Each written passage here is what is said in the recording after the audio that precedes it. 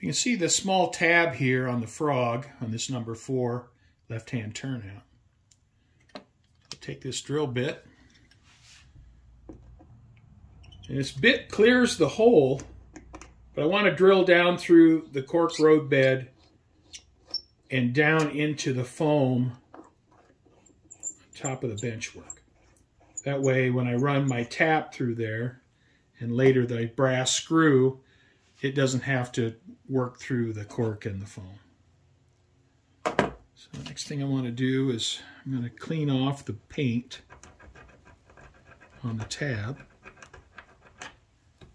Take a piece of sandpaper.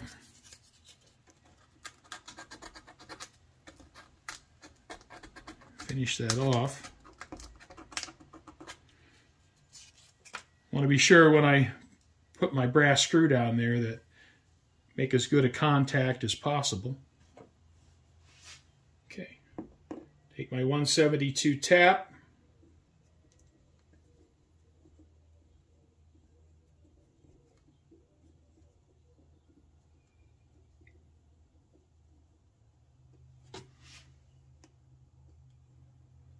I want to be a little bit careful with this. I don't want to break the tap, and I don't want to break the tab.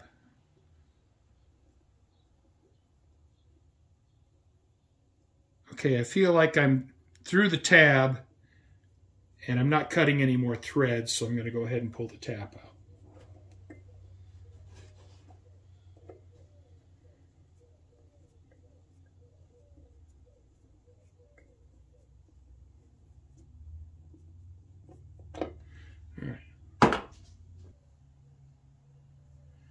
I have these 172 brass screws. Before I can insert the screw into the frog tab, I need to open up the slot. The slot needs to be wide enough for a solid core 20 gauge wire to fit down inside the slot. That way when I solder the wire, it has a real good connection with the screw head. So what I have to do now is open that slot up.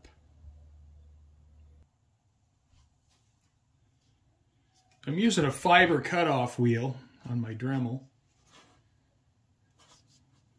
And I have to look through a magnifying glass because, you know, I can't see.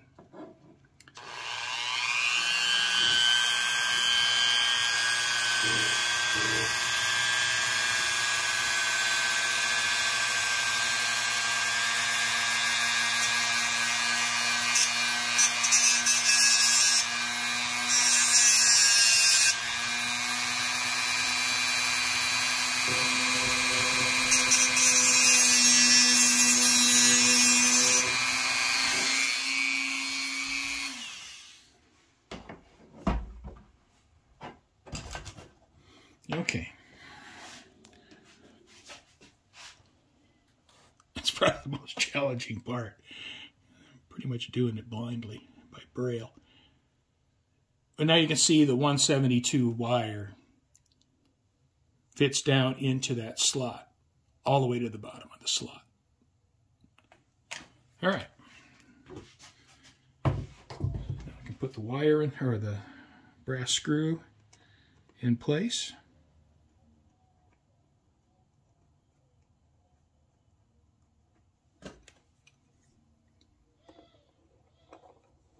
I've never used any brand track. I mean, this is my first layout. I did build a small module once, but this is my first layout. And this Atlas track is the only thing I've ever used. But I have to say, this is not a great design. I see no reason they couldn't put the tab out here.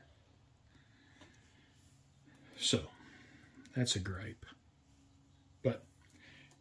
It's what we have to work with, so we'll make the best of it. All right, strip the wire. I'm going to have to make a little bit of a complicated bend here. So I'll just start out with this and put the wire through. Because of the positioning of the screw, the slot goes this way, so I'll have to make a bend in the wire that will work with the slot.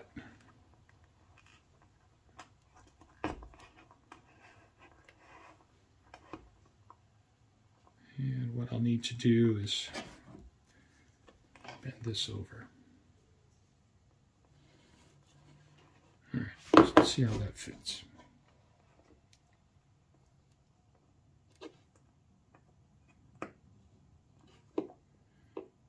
I believe that'll work. That'll work well.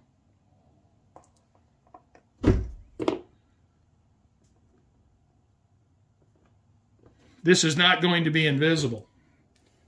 It's just what we have to work with. So, what I have to work with.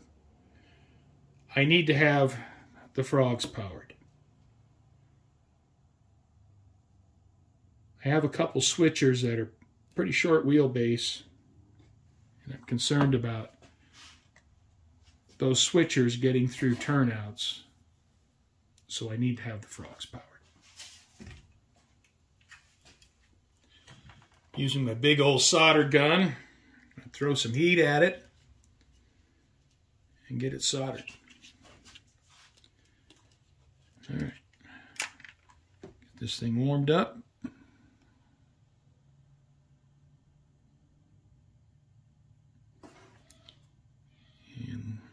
Get her done.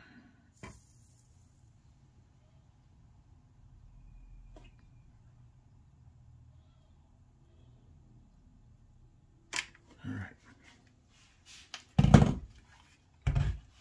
Let that cool just a moment. And give it the pull test. It's looking good.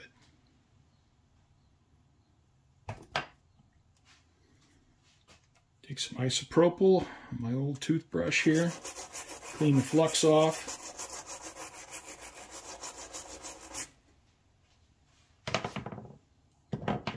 Take this file, just knock the top off so I don't have this big solder dome here.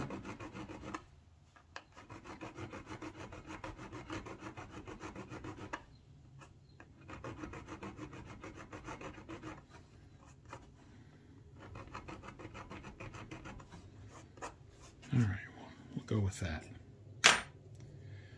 And sand my sand my frog.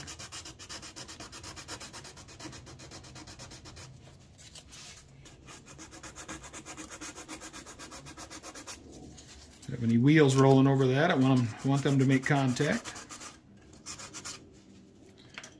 And lastly, I got a straight edge. I have plenty of clearance. Plenty of clearance between the top of the rail and the top of that solder joint. So good to go. Feeling good about that. All right, so I'll finish these up and I'll have feeders on my frogs.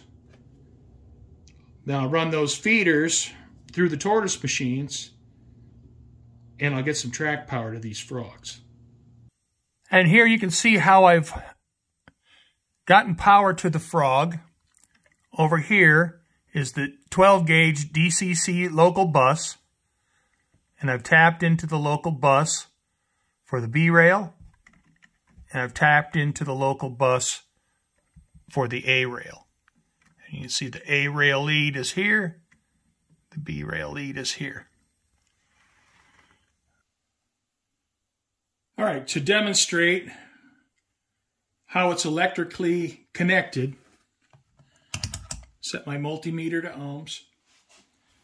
Now I'm calling this my normal route since it passes straight through the turnout. And in this instance, the frog will be at the same potential as the B rail.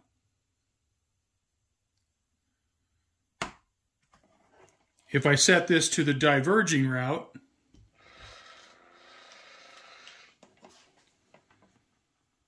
the frog will be at the same potential as the A rail. Because as you can see, as the wheels of the locomotive run through the turnout on the diverging route, This is now the A rail.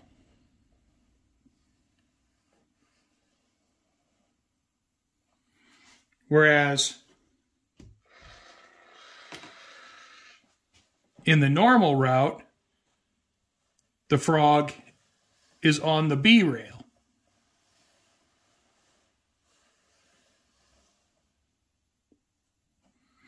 And so, it's at the same potential as the B rail in the normal configuration.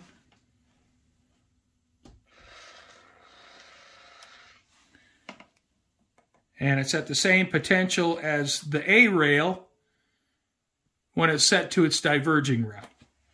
As you can see, the frog is now on the A rail.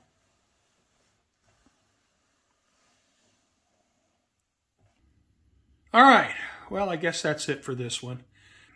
Thank you for watching, and I hope you join me on the next one.